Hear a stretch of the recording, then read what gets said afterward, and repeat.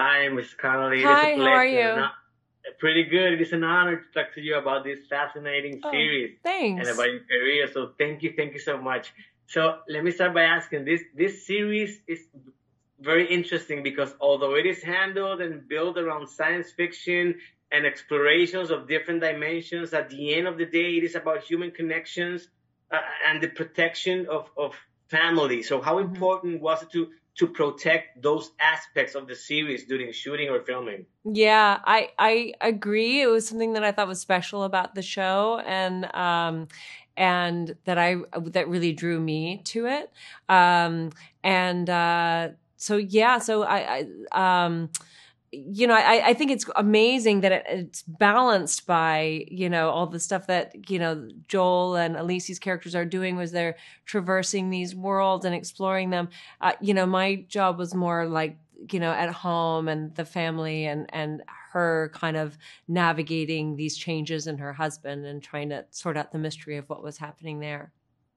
That's beautiful, but at the same time, you had the chance to meet another version of yourself, or at least your character. So let's get a, a bit philosophical here. Consider considering the, the topics of the series. If you had the opportunity to meet another version of yourself, how would you react, or how how would you like it to be? Because many times during our lives, we, we ask ourselves, "I would like to be this or that way."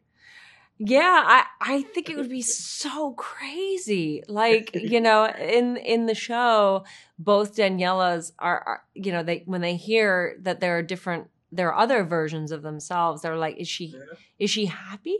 Like, you know, what it, what does she do and is she happy doing that? You know, it's like hard to imagine that I guess we get so caught up in the one version of our lives. Even even like, you know, like the one way that we live our lives when in the truth is there are probably many ways we could choose to live our own lives that we would be happy you know it's it's interesting to think about Yeah, I know. I agree with you 100%. So, what, what was it like um, collaborating with, with Joel, not only as a scene partner, but but also as, as, as an executive producer?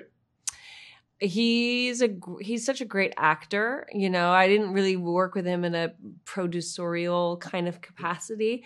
Um it didn't feel like that he was you know he was on set as as you know playing jason really and and he's just fantastic. He's so um he's just so lovely to work with um you know easy and and and generous and you know we felt we worked i think well together and we're really comfortable working together. I really like him and um and i just think he's great. So it's just it's so much fun to work with such a good actor Thank you. You both did awesome in this series. So I, I need to ask you, let, let's walk down memory lane for a minute. We can talk about many of your past projects, such as the wonderful work you did that won you an Oscar for A Beautiful Mind, but Labyrinth and then career opportunities. I need to ask you about these two iconic films. Very different. Uh, but how, how do you feel these movies have aged so well? And what is the most special thing you keep from these, from these classics? Um, you know, uh, they're incredible experiences. You know, it's such an amazing job that I do. I'm really fortunate to do it. You know, you have these chapters where you're working with these really creative, talented people, and they're like little microcosms. You know, and um, you get spend so much time with all of these people for a few months, and then but it's ephemeral. So it's there's something special about that. Um, yeah. All right. Thank you so much, my time is up. I'm a huge fan. So thank you, thank you so much Thank for, you. know, for for a wonderful career and for such a wonderful job in this this beautiful series. So thank you and have a great day. Thanks. You too.